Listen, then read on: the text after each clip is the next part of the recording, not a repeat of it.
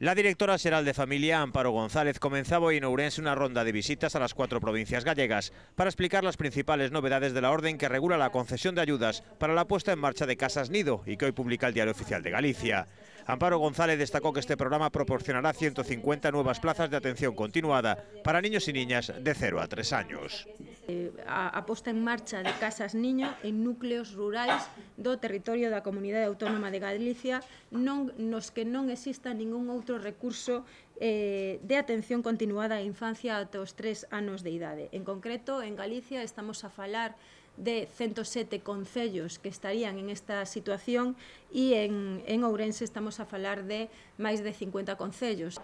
Las personas interesadas en esta convocatoria tienen de plazo un mes para presentar las solicitudes.